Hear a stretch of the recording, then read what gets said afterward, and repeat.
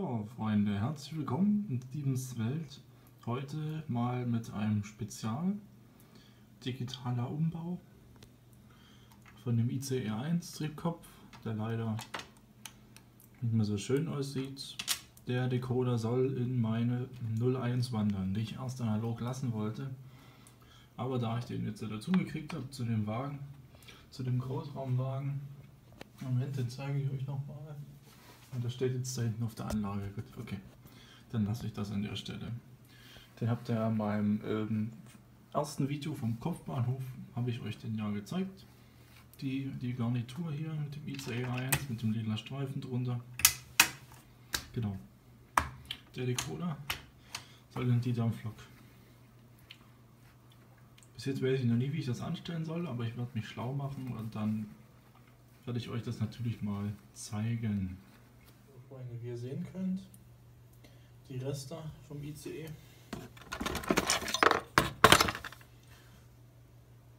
Das ist der Antrieb, der Motor, die Platine, das Licht. Das ist erstmal ausgebaut. Und dann habe ich mir hier auf den Zettel geschrieben, welches Kabel wohin kommt und das ist jetzt der Decoder. Dann werde ich jetzt einen Lötkolben anschmeißen und dann das in die 01 einbauen. Wie weiß ich noch nicht. Ich denke mal, im Tender ist nie wirklich viel Platz, aber da ist der Motor drin, da muss ich mal schauen, ob ich das hinkriege. Ich melde mich nochmal. So, MOBA-Freunde, wie ihr sehen könnt, ist der Decoder jetzt angeschlossen.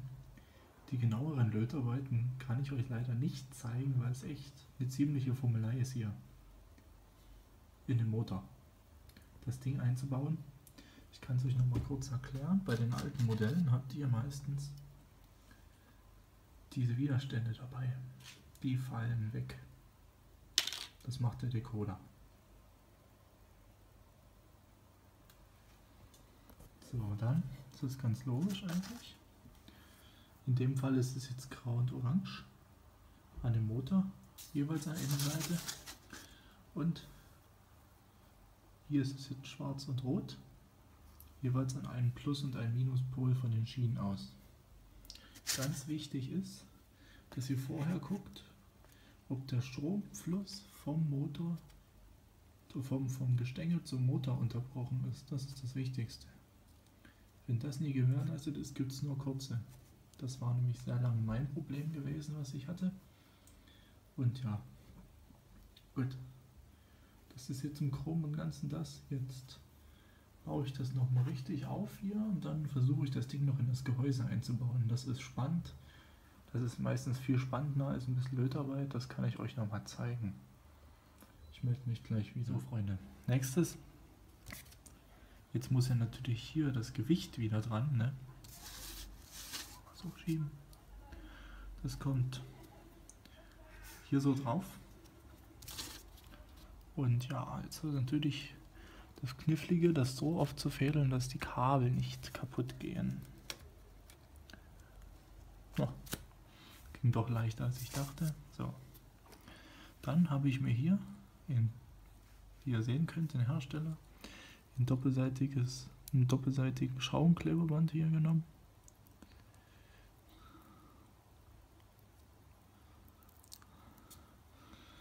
Dann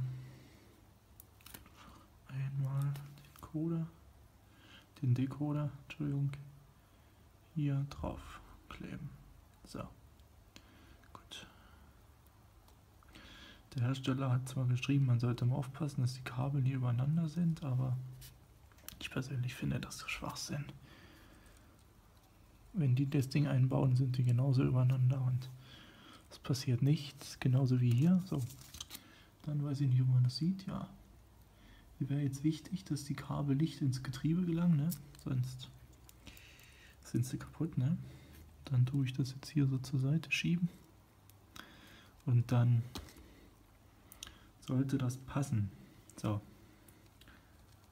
Genau. Ich hoffe, ich rede nicht wieder zu leise. Das haben mir jetzt ein paar Leute gesagt gehabt. Dann tut es mir wirklich leid, aber eigentlich denke ich, dass ich laut genug spreche. Dann liegt das wohl wahrscheinlich an meinem Telefon. aber in geraumer Zeit möchte ich mir eh noch eine Videokamera zulegen, dass das dann alles besser funktioniert. So, dann das Gehäuse drauf. Wie ihr seht, es rastet nicht ein. Das heißt, nehmen uns einen Dremel und tun hier ein bisschen raus flexen, so dass, oh Gott, sieht man gar nicht jetzt, ich hier problemlos rankomme. Ich werde auch mal an der Seite den Stahl entfernen, die Gewichte.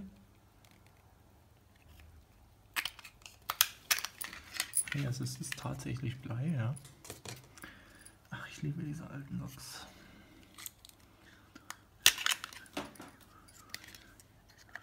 Da? Nee.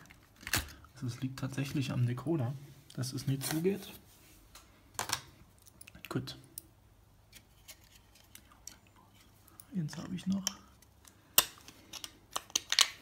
So, jetzt letzte Chance bevor ich die Säge ansetze?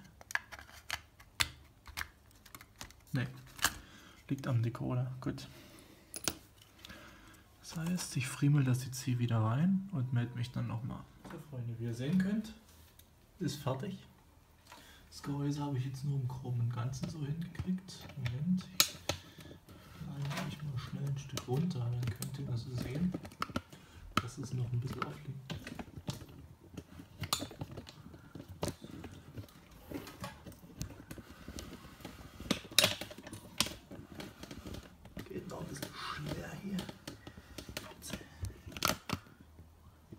Ihr seht dort die kleine Kante noch, ne?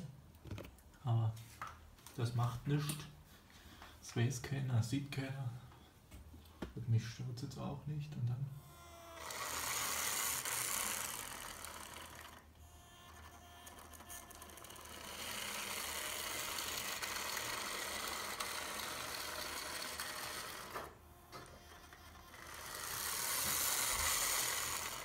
wie ihr sehen könnt, läuft bisschen Öl muss jetzt noch dran, beziehungsweise ein bisschen Fett. Und dann wird das eine runde Sache. Ich mache jetzt noch mal ein kleines Video, wie die Lok in den Bahnhof einfährt, digital, und dann war es das erstmal für die Folge. So, das Fahrvideo.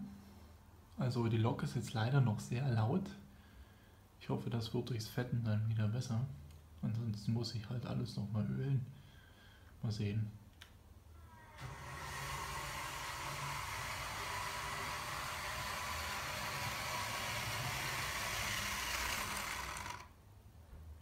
Ist getroffen, aber macht ja nichts.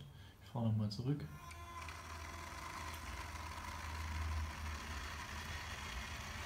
Ich finde, die läuft super, bis auf das Geräusch.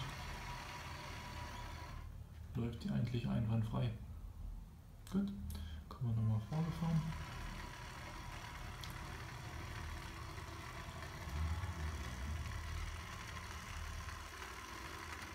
So, da freue ich mich natürlich dass die 01 jetzt äh, dazugekommen ist. Ich zeige es euch nochmal in voller Pracht.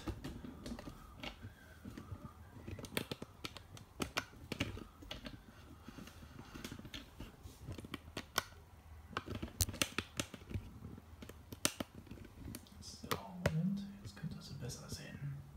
Sehr gut. Ja, also wie gesagt,